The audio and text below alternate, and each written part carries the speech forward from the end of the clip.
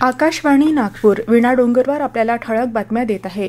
भंडारा जिल्ह्यातील गोसेखुर्द प्रकल्पातील जलपर्णीच्या समस्येतून स्थानिक सुशिक्षित युवकांकरिता रोजगाराच्या संधी शोधणार असल्याची माहिती राष्ट्रसंत तुकडोजी महाराज नागपूर विद्यापीठाचे कुलगुरू डॉ. सुभाष चौधरी यांनी बुडीत क्षेत्रातील काही गावांना दिलेल्या भेटीदरम्यान दिली.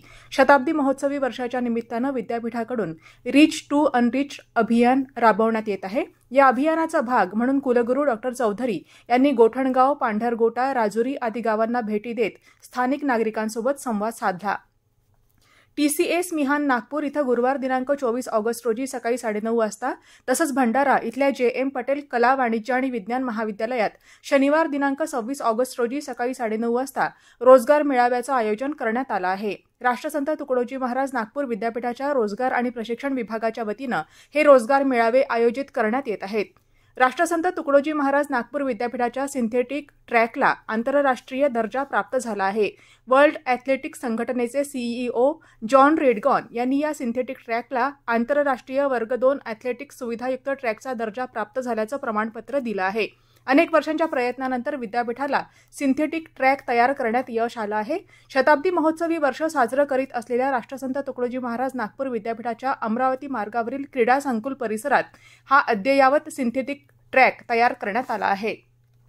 केंद्र सरकारनं ग्रामपंचायतींच्या निरंतर विकासासंदर्भात तीन दिवसीय राष्ट्रीय कार्यशाळेचं आयोजन केलं आहे.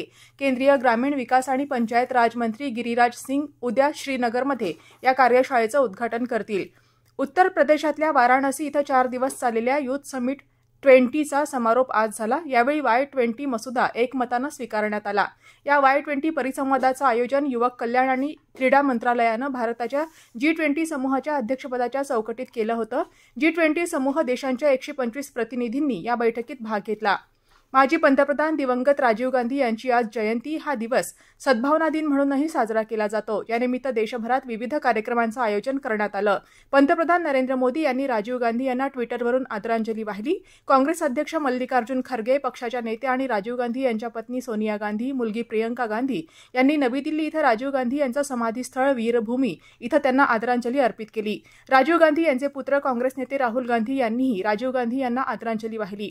विदर्भात पावसाचा येलो अलर्ट जारी करण्यात आला असून अमरावती गडचिरोली नागपूर आणि वर्धा जिल्ह्यात काही ठिकाणी विजांच्या कडकडाटासह मुसळधार पावसाचा इशारा हवामान विभागानं दिला आहे. याबरोबरच हे ठळक बातमीपत्र संपलं. नमस्कार.